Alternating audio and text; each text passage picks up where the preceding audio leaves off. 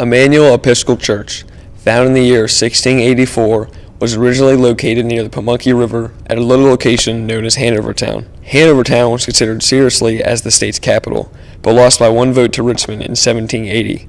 The church was generally active in those early years, but closed during the Revolutionary War because every man was needed to fight. Though Immanuel Church survived the war, Hanover Town became less prominent to Virginians. The church moved to meet the needs to the state.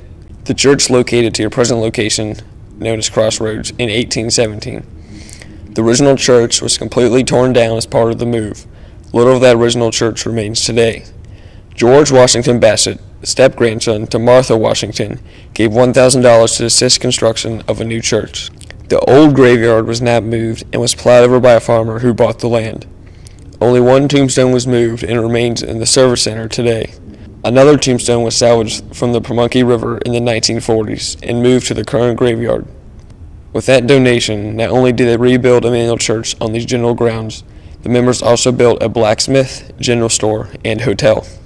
During the time after the relocation, Immanuel couldn't afford her own pastor, so Patrick Henry was brought on as one of many circuit riders for the church from 1834 to 1837. A circuit rider is a traveling rector. Later, in the early 1900s, Pap Hepburn, grandfather of actress Katharine Hepburn, would serve as circuit rider for Immanuel. Edmund Ruffin donated money to the church. He was the man who fired the first shot in the Civil War. Today, there's a monument inside the church in his honor. It cannot be moved without approval from the church vestry members. During the Civil War, Immanuel Church played a minor role.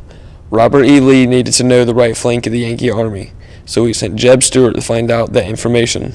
Stuart's first contact with that Yankee army was close to where we're standing now, a few miles away on Studley Road. Stuart ordered a battalion of troops to meet the Yankee advance line and engage them in battle here at the church.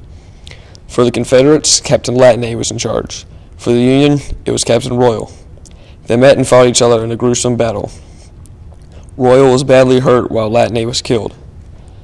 Artist Henry Washington painted the burial of Captain Latané and it is considered to be a famous painting. Latané is also buried in the church graveyard. Kate Brockenbrough, who was a three-year-old girl in the painting, was buried in the church.